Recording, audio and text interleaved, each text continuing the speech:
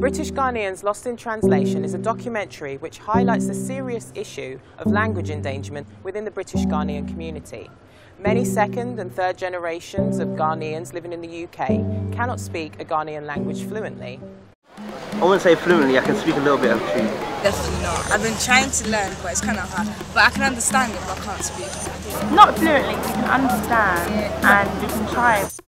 In essence, this weakens their connection to their cultural heritage and their identity as Ghanaians. This story is not unique to Ghanaians in the diaspora. Language endangerment is taking place in communities all over the world. It is estimated that every two weeks, a culture loses its language to one of the five dominant global languages English, French, Arabic, Spanish, and Mandarin. By 2050, half of the world's 7,000 languages could be wiped out. And when a language is lost, humanity loses the cultural wealth and the important ancestral knowledge that is embedded within that language.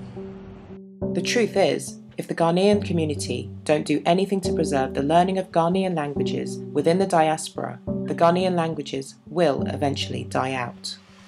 This pattern will be perpetuated if native Ghanaians coming to the UK continue to prioritise English in their households.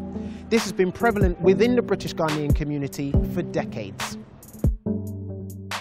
We want to encourage the Ghanaian community to learn, share and preserve the richness of our languages, as well as speaking English and other languages.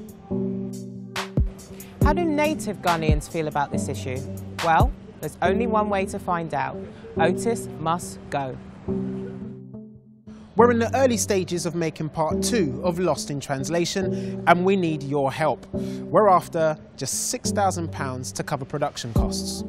I'll be venturing back to the motherland to find out how are non-Ghanaian language speakers received? Are there work opportunities available?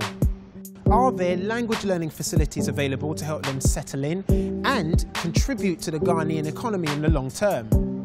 And what is the Ministry of Education doing to encourage native children to learn their own dialect as well as English? There'll be an opportunity to have a producer's credit and to be a part of this exciting initiative to help put an end to language endangerment. So, join this campaign. Ortis must go.